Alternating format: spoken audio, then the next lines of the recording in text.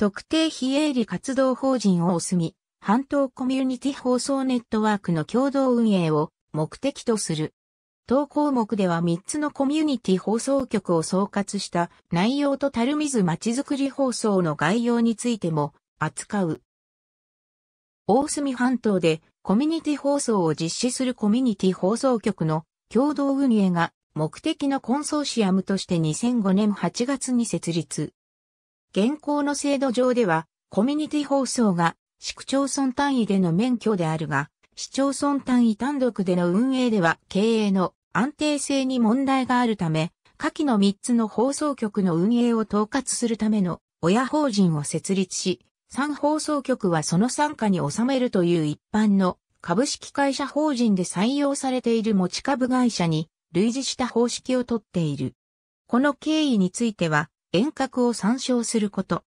番組制作は3局いずれかで行い、平日午前の生番組、をおすみおはようラジオやミュージックタイムなどのフィラー番組は、大隅、半島コミュニティ放送ネットワークと FM カノヤが、同居する鹿屋市西原のスタジオから送り出されている。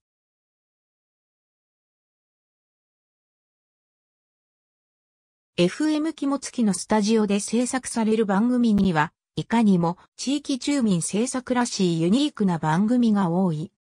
FM しぶし、FM たる水の番組は、先発2曲と比較して数が少ないものの、視覚障害者向けに住民ボランティアが思考報紙を読み上げる早朝5時からの時間枠の番組である私の渋市や渋市の民は日曜島などが存在する。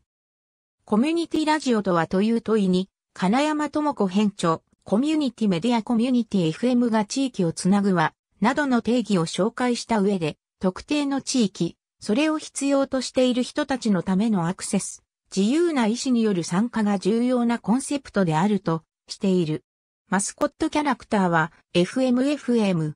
FMFM の名称は局の愛称とともに2005年にインターネット上で公募され、FMFM が正式に決定された。会員制度あたりネットワーク、及びその参加の3放送局は、特定非営利活動法人であるため、一般企業での株主に相当する運営会員を募っている。大隅半島の地域メディアは、ペーパーメディアの有刊紙の南九州新聞や、月間のフリーペーパーが数種あるが、県域局や、県市の南日本新聞は、鹿児島県の3分の1の人口を占める鹿児島市や、薩摩半島の情報を重点的に伝えていた。前述の南九州新聞の交渉部数は5000部程度で、地元で広く親しまれているとは言い難く、地元密着のメディアはほとんどないと言っていい状況であった。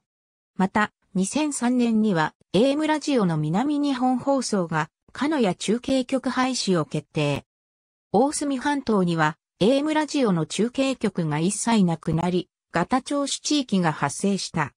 FM 鹿屋、肝付き開局日にはアマチュア無線化がこのことを批判しており、前述の事項と合わせて、地元では、県域局の大隅半島警視志向と捉える見方がある。このため、過去にも、鹿屋や渋市でコミュニティ FM の設立構想が幾度か持ち上がったものの、主として財政面の見通しが立たないなどの理由から、いずれも立ち消えとなっていた。NPO 形式で開局した理由は、コミュニティラジオとしての特性を最大限に発揮できる組織となり得るから、というもの。いわば地域住民がオーナーの地域公共財としての放送局を目指したからである。また、株式会社にした場合、収益が見込めず配当できる可能性はほとんどないとの判断からでもあった。自治体に関しては開局後は積極的に関与しつつあり、2007年1月からのおすみおはようラジオ内での姿勢情報の提供、リナシティカの屋内情報プラザに FM 化の屋の利用も想定したサテライトスタジオの設置などが例として挙げられる。また、2008年度から鹿児島県大隅地域振興局と鹿屋市、渋市、垂水市、肝付町が合同で、大隅、FM ネットワークエリアの南調子地域解消を目的に中継局や新規開局の財政的支援に乗り出した。日本初の NPO 法人の運営によるコミュニティ FM 局、京都コミュニティ放送の設立における中心人物が出身地の肝付町でも同様の形式のコミュニティ FM 局の設立をと構想する。行動に移されたのは2005年初めで、自身の出身校である県立鹿野屋高校の同窓生の協力を得ることとなる。2005年4月には組織を設立、同年7月から8月にかけて NPO 法人として認証された。また、上述の通り、大隅半島の経済力では経営の安定性に問題があったため、株式会社法人の持ち株会社形式に類似した形で、3局の営業部門や一部番組制作の共同運営によるコスト削減を目的とする組織として、別途に大隅 FM ネットワークが2005年8月に認証されている。すなわち、大隅 FM ネットワークは純粋持ち株会社、参加各局は持ち株会社直系会社とほぼ同じである。当初の予定では2006年4月に3局一斉の開局であった。ところが、FM しぶしのスピルオーバーや準備の遅れなどの原因が重なり、3局の開局は同年10月まで待つこととなった。FM タルミズは、タルミ市の防災無線が老朽化したことをきっかけに2008年に設立された。市が設立当初から密接に関連しているという点で、FM カノや肝付き、支部市と設置背景をことにしている。以下の記述は2009年6月7月の中継局設置以前のものである。4局を共同運営することにより、同一番組を広範囲に送信することを実現。現在では、鹿屋市の旧木北町を除く地区、肝付町の旧高山町地区、渋市、垂水市、及び放送対象地域外の東串良町、大崎町で聴取が可能。各局の受信エリアは、各放送局の項目も参照のこと。現時点で FM 鹿屋は、旧紀北町地区を、FM 肝付は、旧内の裏町地区をカバーしていない上に、他の大隅半島の市町は、放送局自体がない。ただし、上述のように、鹿屋市、肝付町、渋市では2009年を目途にした中継局の設置が実施される予定であり、同年6月に FM 鹿屋、肝付が中継局の放送免許を取得している。最初に使用されていたドメイン名は daredemoradio.jp。メールアドレスとしても2007年初頭まで使用されていた。その後公式サイトが www.g-maga.com スラッシュ fm に移動。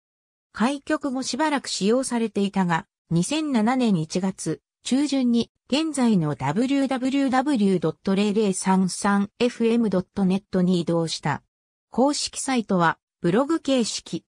トラックバックは常時受け付けているほか、一部記事はコメントも投稿可能。番組表も随時アップされているが、更新が遅れて当日の番組が確認できないことがある。番組表は2006年9月より地元有刊紙の南九州新聞に掲載開始。月間番組表はフリーペーパーのビッグウェーブに掲載されている。南九州新聞のコラムにも大隅、FM ネットワークの話題が登場する。またビッグ、ウェーブ提供の番組も放送されている。県域規模で紹介されることはあまり多くなく、FM カノや肝付きの開局日には4局の民放テレビ局の内鹿児島放送と南日本放送のみ夕方のニュース番組の中盤に報道し、南日本新聞でも社会面の一記事扱いであった。ただ、鹿児島放送に関しては、KKB スーパー J チャンネルで複数回特集を組んでおり、2007年3月には KKB 子供博の宣伝隊が番組に出演していた。自主制作の番組が基本、フィラーの音楽番組も含めて24時間すべて自曲、制作である。唯一、ラジオフォーラムだけが外部制作を放送している。通常は、ほとんどの番組が大隅、FM ネットワークが同居する FM カノヤのスタジオからの放送。肝付きウィークリーなど一部番組は FM 肝付きによる単独放送。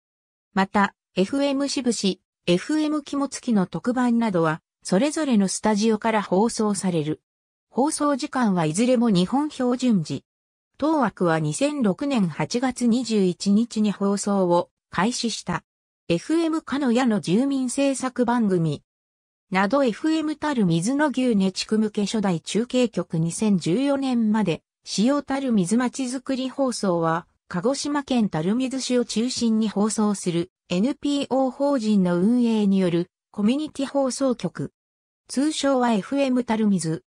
垂水市の防災無線が老朽化したことへの対策として、市職員や商工会などが主体となって NPO 法人を設立し2008年9月17日に認証を受けた。2009年2月5日に予備免許、2月23日に放送免許が交付され、3月1日に開局した。演奏書は2009年3月の開局当初は、垂水市情報センターに2014年以降は、垂水市役所別館3階に置かれている。FM カノや、FM 肝付き、FM 渋市と共に大隅、FM ネットワークを構成し、3局とほぼ同様の番組が放送される。コールサインは、ジョスレイ BJFM、呼び出し名称はタルミズコミュニティ FM。周波数 77.7MHz、送信出力 20W。送信所は垂水市役所にあり、牛根地区向けの中継局が道の駅たる水に設置されている。